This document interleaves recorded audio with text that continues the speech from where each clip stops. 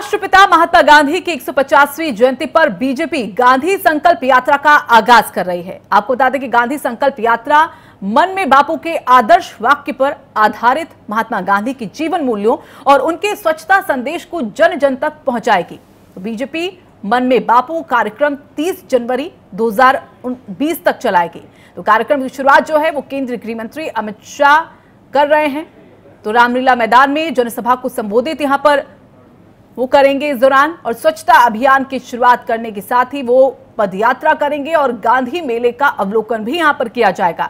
तो कार्यक्रम की अध्यक्षता बीजेपी के प्रदेश अध्यक्ष मनोज तिवारी करेंगे। वहीं केंद्रीय स्वास्थ्य मंत्री डॉक्टर हर्षवर्धन भी इस दौरान मौजूद रहने वाले हैं।